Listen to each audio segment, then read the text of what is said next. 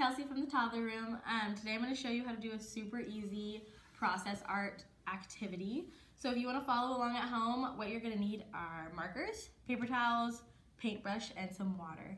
So you can just have your kids color whatever they want on the paper towel, draw pictures, and mix up the colors.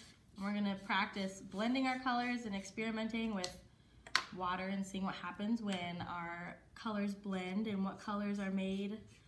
So whatever they want to draw. Uh-oh.